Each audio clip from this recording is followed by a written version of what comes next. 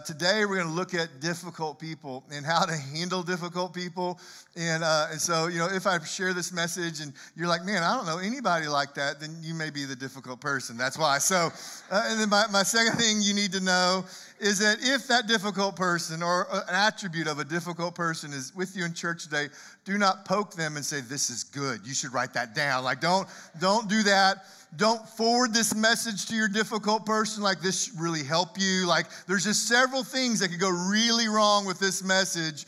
Uh, so i just need y'all to be careful with it and, just use it as something that to really help all of us. And but but we have difficult people in our life. They're the the crazy makers. They're the ones. They're the people that when you interact with them, you walk away and just talk to yourself like, I don't understand why I even know them. I don't understand why I, I, I don't even know why I try. It's those people that I want to talk about today and how we deal with them. And so, what we do know uh, in Scripture is Jesus always gave us this principle he says, before you can deal with somebody else, he goes, you've always got to deal with you first. Jesus did it as he said, there's, if there's a plank in your eye, if you're going to take out the speck in theirs, you got to deal with the plank in yours. And I think that's really important when we deal with people is that we under we have to first look at ourselves and say, what did I do? What am I doing? How am I contributing to this? And then we have the space and the right attitude to go deal with the difficult people in our life. So I, created a couple things, a couple sentences that I'm hoping are somewhat kind of like a mirror for you to help you look at yourself before you look at the other person. And the first mirror is this the relationships you have are a combination of what you've created and what you've allowed. And so the relationships in your life right now, all, mostly all of them, there are probably some that do not fit that, that, that statement, are, are, are what you've allowed to happen in that relationship and what you've created in that relationship. So that means that, that you're part of what's going on in that relationship, but that doesn't mean that it always has to stay the same. That I believe God is giving you the power to change some of these things in your life. So, with that in mind, that all relationships are a combination of what you've created and what you allowed, it brings me to my second mirror, which is this. If you don't want, you like what you have, change what you expect and what you accept. Change what you expect and change what you accept. Now, last week I talked to you a little bit with stress about expectations, that sometimes we have too high of expectations from people. You know, I was talking to a couple one time, and, and she just really wished her husband had psychic abilities, basically, that he just knew intuitively what she needed that day. And I was like, How long y'all been married? They're like, Oh, about 10 years. I said, He hadn't figured it out. She's like, No. And I'm like, Honey, he ain't. Like, it's just, it ain't gonna happen.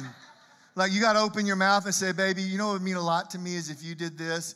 And, I, and I, the husband's like, yeah, that'd be awesome. Like, I, I, don't even know what's happening. Like, you know, he's just like deer in the headlights. Like, I didn't know. I, am trying, you know. And, and so I said, listen, I know it'd be great if your husband had that ability, but he doesn't.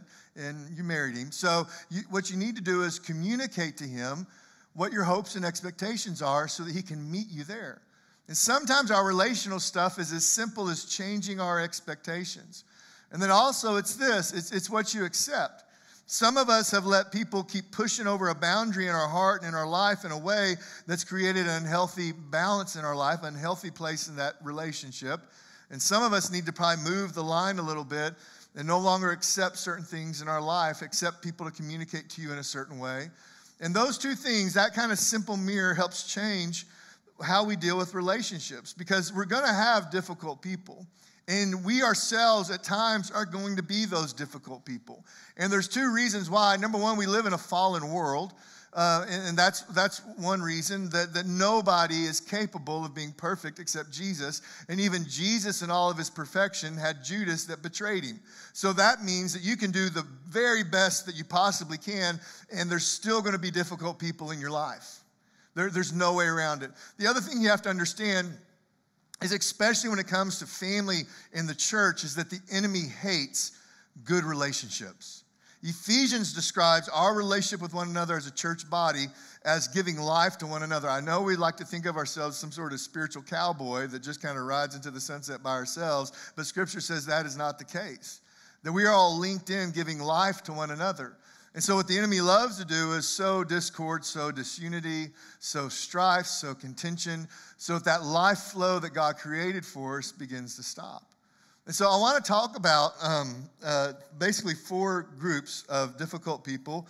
Now I've grouped them in the groups. That's why they're in groups today. And, and so that means there may not be people in the group that I'm going to group them in. But that does not mean that group may not exist. I'm just doing four groups. Is that clear? So you may, you may have the white rhino of relationships. Like Eddie, you got four of them, but he's got, there's four more groups out there. You totally missed, bro. You don't know this dude. You should come to my family's Thanksgiving. It is amazing. Like, it's a therapist's dream. Like, you know, like, therapist looks at it like, wow, I could do so much work here. You know, like, so I, I get that. So these are going to be some generalizations uh, of, of groups. And, and so the first group I want to talk about are what I call the controller.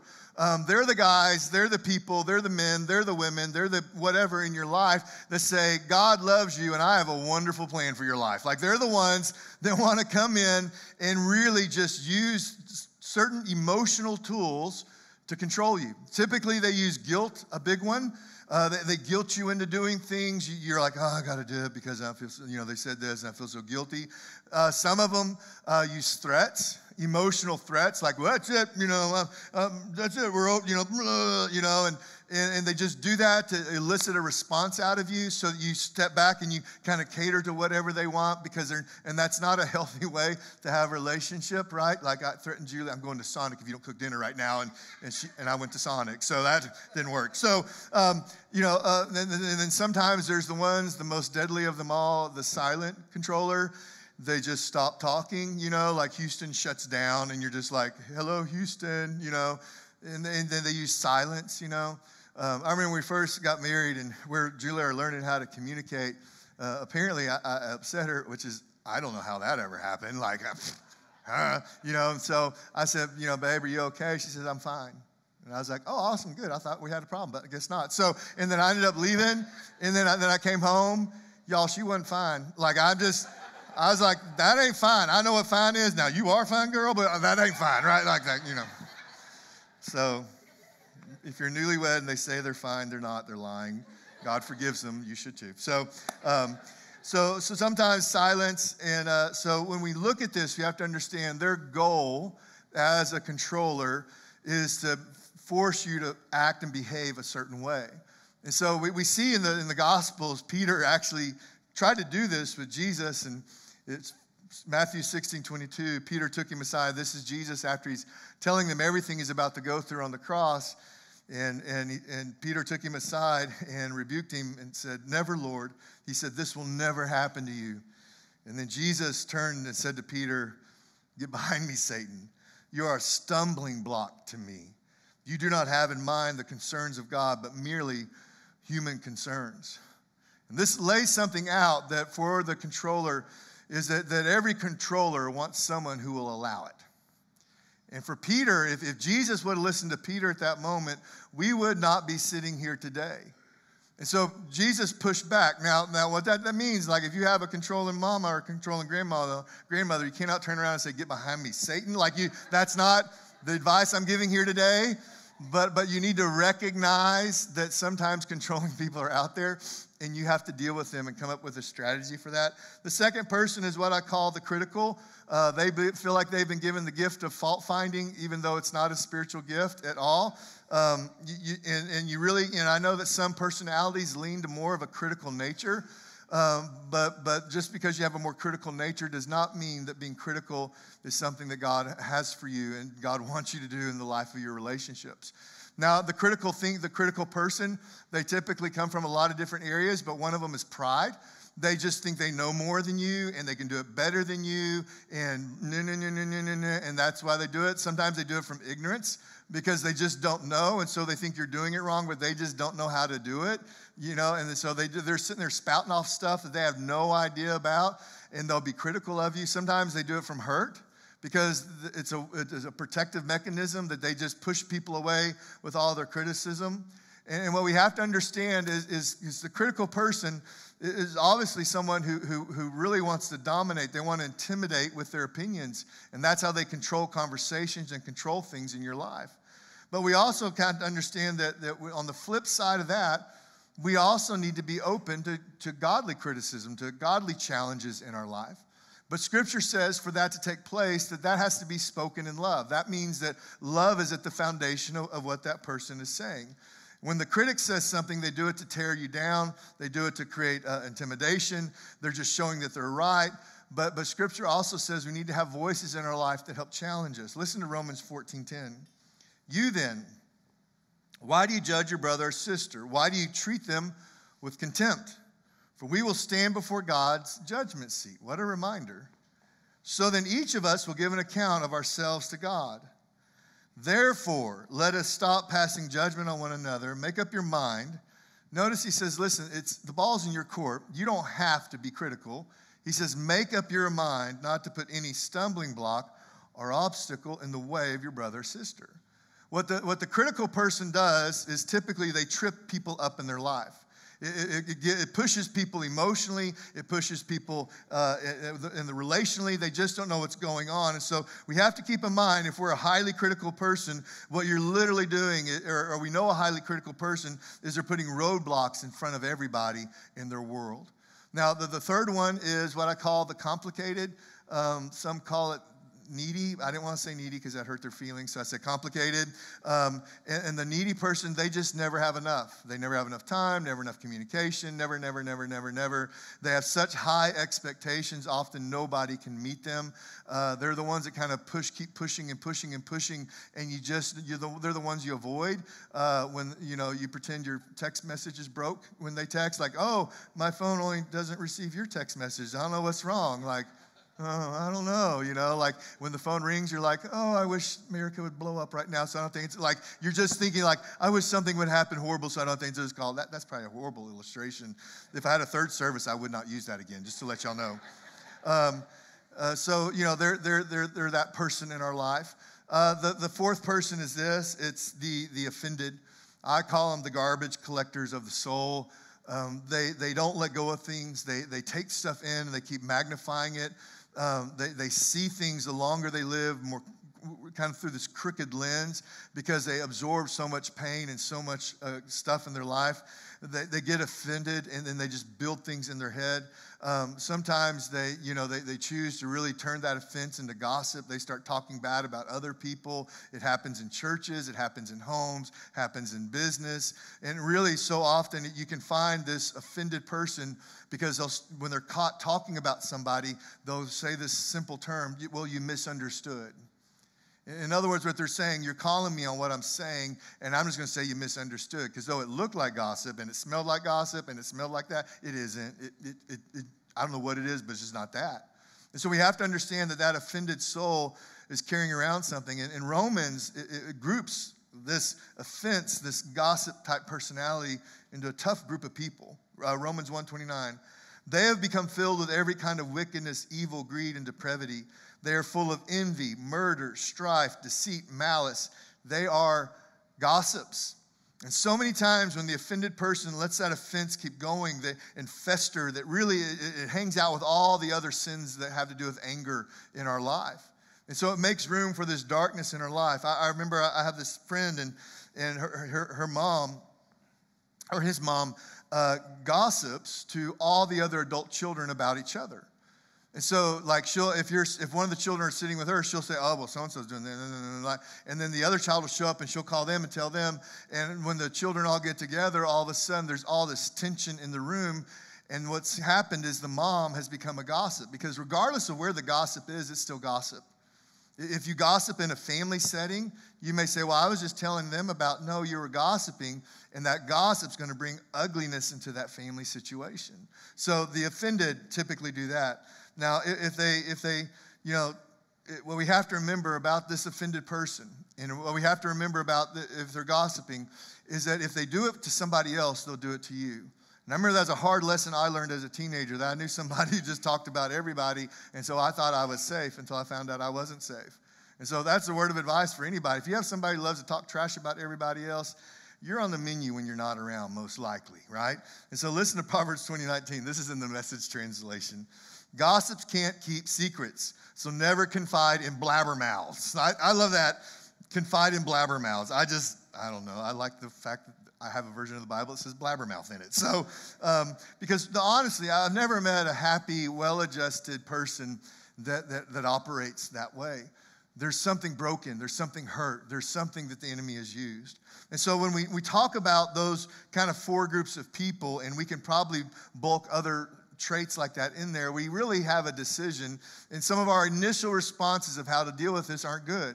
Uh, typically, we want to reverse it. Like, we to turn it back on them. We just like, oh, they're going to say that, then I'm going to say this. Like, you know, oh, I, you, they said that about me. Well, let me tell you something about them. I mean, you just you reverse it. You just you just keep adding fuel to the fire, and, and you actually make the situation worse.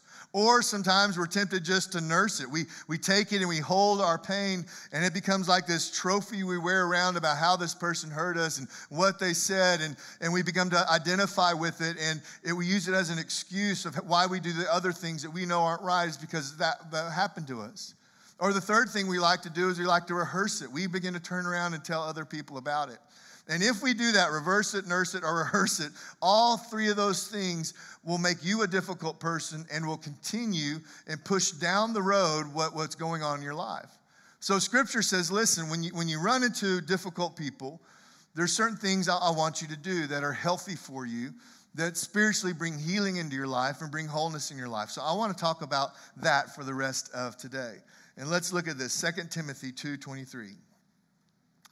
Again, I say, don't get involved in foolish, ignorant arguments that only starts fights. And you're like, well, if we do that, Eddie, what are we going to talk about at Thanksgiving? Like, you know, like, I thought that was funny. So, um, but it says, don't get involved.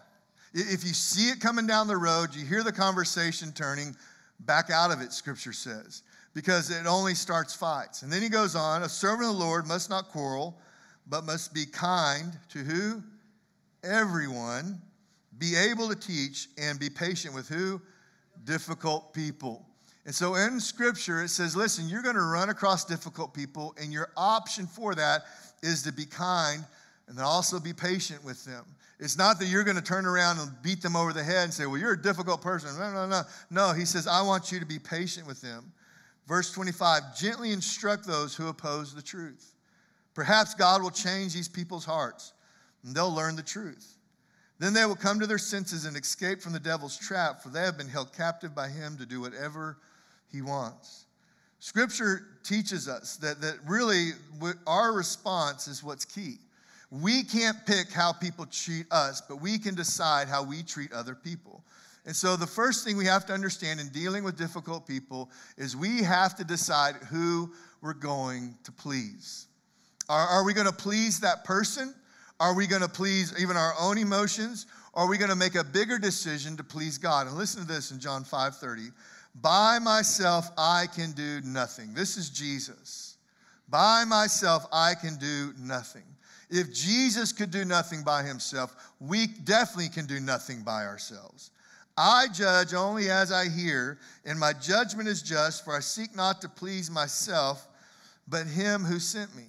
Jesus says, Listen, I don't do any of this by myself. And in fact, I only say what I, I, really hear the Father saying about this. And if the Father doesn't give me the okay to say it, and the Father doesn't give me the okay to do that, then I don't want to do it. He goes, I don't want to please myself. I just want to please the one who sent me. And so many times that we have to decide who to please because somebody says, Well, Eddie, I just like to please everybody. I like to make everybody happy. But sometimes when you do that, it causes you to validate who God says you are. And sometimes it causes you to cross a line that you shouldn't cross.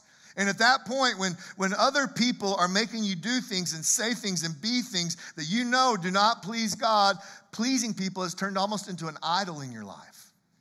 And so you have to step away from that and say, listen, I've got to, I only can please God with my life. That's, that is the goal. And sometimes we need to take an, an action and just say, I'm going to make a decision to please God and then let your feelings catch up with it. But for some of us in this room, when it comes to relationships, you decide who you're going to please, and it's like a line is drawn in the sand and say, I will not go past this any longer.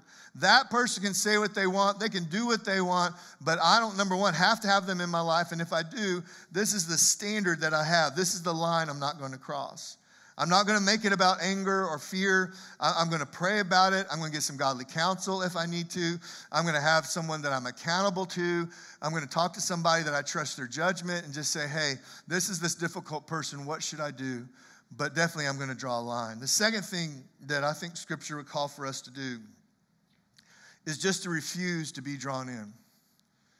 That many times these difficult people want you to get in the mud with them. They say, man, you know, if they're slinging it, they want you to sling back because it makes them feel better about what they're doing and what they're saying. Listen to what Jesus says. But Jesus didn't trust them, verse 24 of John 2, because he knew about, he knew all about people. Jesus wasn't drug into the fray because he understood people. In fact, Matthew uh, 22 records where the Pharisees were trying to drag Jesus into something. And so they kept making accusation and asking questions and really just trying to rope him into something. And Jesus kind of like kept sidestepping and he just wouldn't go down the road that he wanted. And finally, scripture says that they finally gave up and they went away because they couldn't basically trap him with his words, with their words. And what we have to understand is many times we can refuse to be drawn in. There's people in your life, they love the conflict. I mean, they're like the Picasso creating a masterpiece of conflict in their life, and they're always working on it. But if you step away and say, listen, I'm not going to do that. I'm not going to be a part of that. I'm not going to return. Every time they always get me riled up, I always say something I regret. Well, this time I'm keeping my mouth shut. When I was in high school, I had a friend whose mom was really good at this, at just stirring up contention and so, you know, he was trying to serve God. And so one day, his, you know, his mom would always say things and he would respond and it would just went downhill really quick. And so I remember talking to him and, he, and we just prayed about it. And he said, Well, I'm just not going to respond the way that she's talking to me. And so he began to respond softly and respectfully every time. And after about a month of that, his mom came back. She's like, You're not being any fun. Like, why aren't you fighting? You know, and, and, and, and really, it just kind of it let the air and it took away the sting and took away the power of it. And, and you'll be amazed many times if you choose your response differently, how it can even change the outcome of what's happening in that relationship. So you really have a few options. You have one option where you, you just don't respond. You know, sometimes there's people, um, I remember one time I got a really ugly email.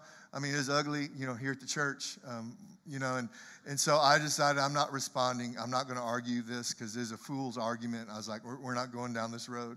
Sometimes you, you decide then to respond, but you respond carefully, you don't react. You know, it, that first initial words that flow through your head, you can feel your blood pressure rising. You're like, I am going to destroy them with my words, you know, and I'm the God of war, and I'm going to, you know, no, you just take it and you pray over it, and then you don't re- react to them. You, you respond. You use some wisdom. Um, you know, you know, if you're texting like this really fast with ugly face, you probably shouldn't hit send. That's, that'd be my advice. Look in the mirror while you're texting, and if it's like this, stop yourself. Like, just throw it in the toilet and be like, I'm walking away, I'm walking away, right? You, but you, you can respond, but, but you're not going to react. And then sometimes with people, you just listen and grow. Sometimes you have something you need to learn. Maybe you did step over a line. Maybe you did come across the wrong way. And maybe you need to grow in that area in your life. But, but I think for many of us, that we have to learn the difference between a critical voice and a challenging voice. We need challenging voices in our life. We don't have to yield to the critical, but we need to yield to the challengers. The critical ones tear us down. They're saying something to hurt us, to belittle us, to empower themselves. The challenger sometimes does it to build us up.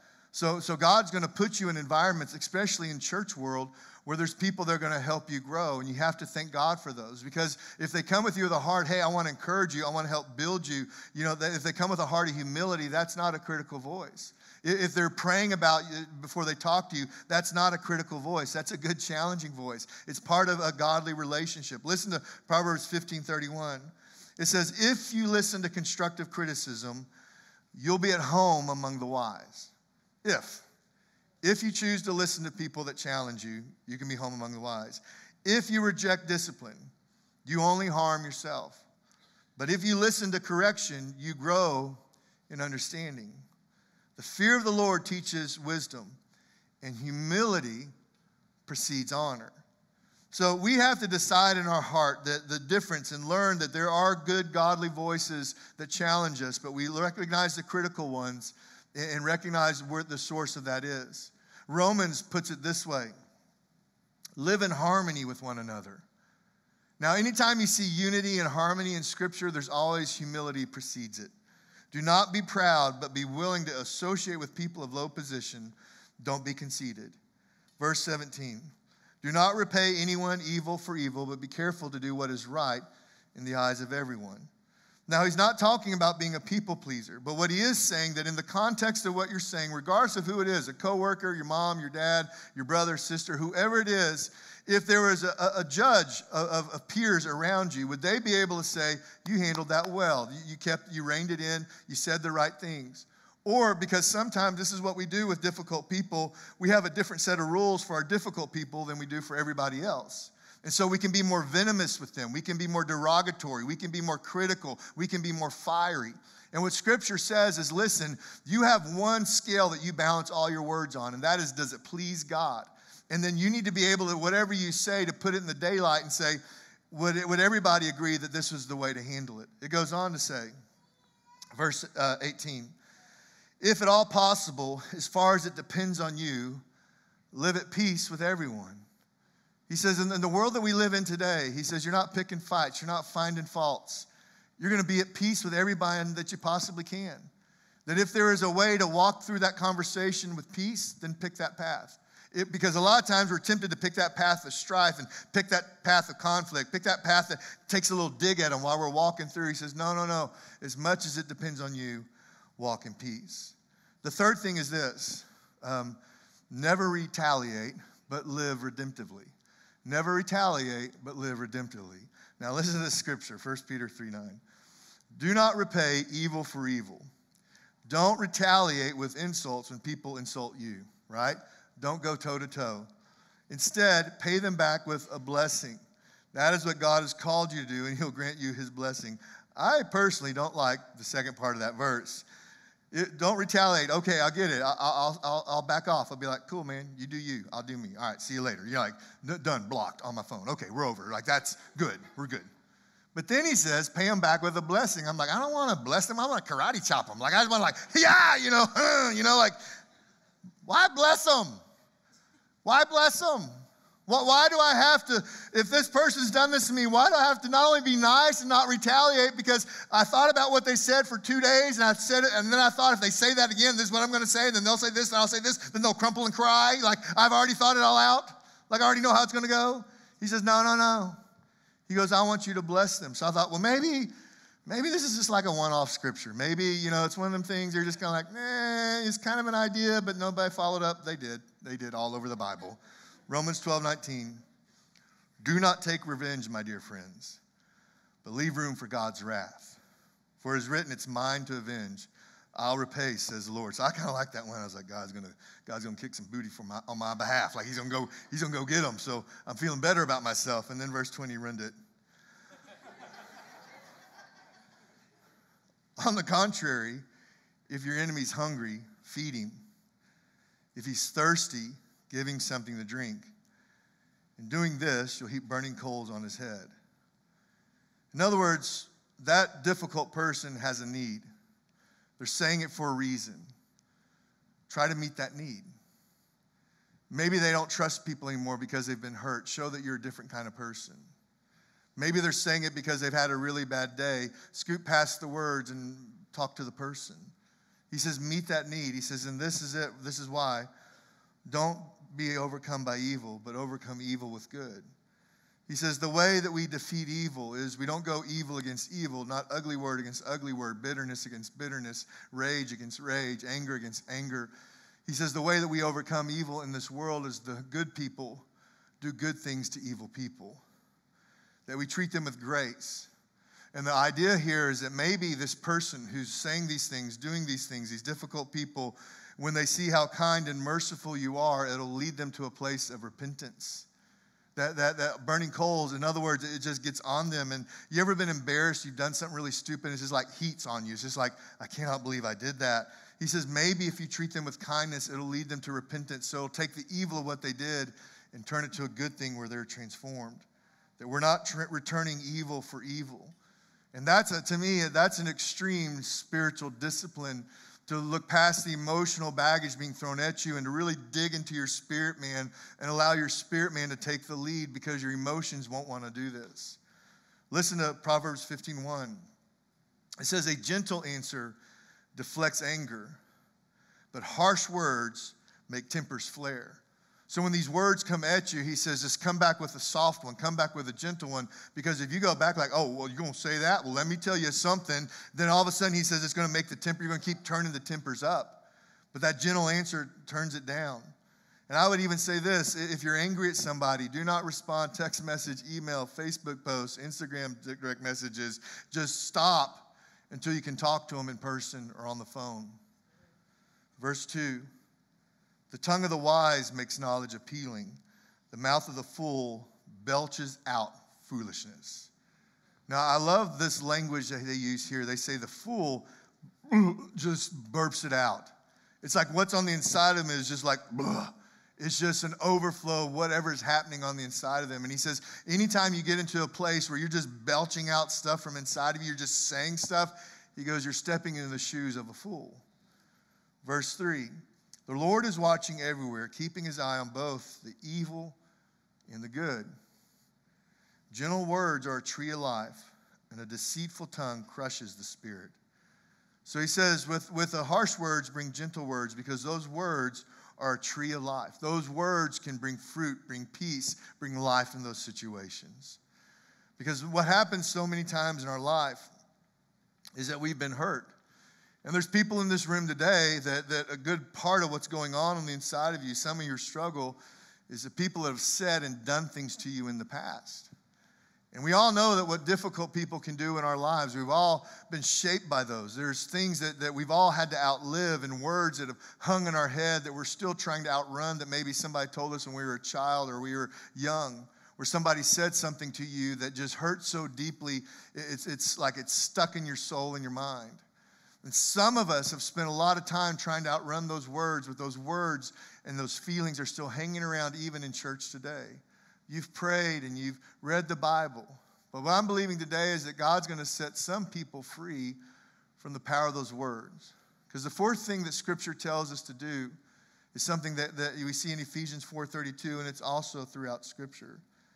It says, Instead, be kind to each other, tenderhearted, forgiving one another, just as God, through Christ, has forgiven you. The illustration of the level of forgiveness is he said a, a price had to be paid so Jesus paid the price so that through Christ, God could forgive us. He said, without Christ taking the punishment for us, we couldn't be forgiven. And so, what you decide to be a forgiver, to be somebody with the difficult people, is you decide the price has been paid because of what Christ has done, so I can forgive them and I can release them so that I can be free. Me and Stephen lead a men's freedom small group this semester, and one of the illustrations in this small group, they talked about forgiveness. They said, Unforgiveness is like setting yourself on fire, hoping the other person dies of smoke inhalation. You're killing yourself in hope of punishing them. And as, as the band's about to come and, just begin to play, um, we're going to worship together. And as we worship here today, what I want to remind you of, and what I really felt in my heart, is that God wants to set some people free today you've had some pain that, that's affected you, and you say, Well, I'm going to walk out of here and deal with it. Why don't you this morning, in just a couple minutes, come to the altar and lay it down at Jesus' feet? And let somebody pray with you and pray that God begins that healing process in your life. Because my fourth point is this you got to release them, you got to let it go. You're not hurting them, you're hurting you. You're not tying them up, you're tying yourself up. Let me pray for, for all of us, real quick.